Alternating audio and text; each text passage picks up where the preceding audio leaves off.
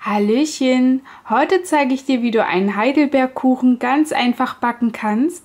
Die Zutaten und die Zubereitung zeige ich dir jetzt.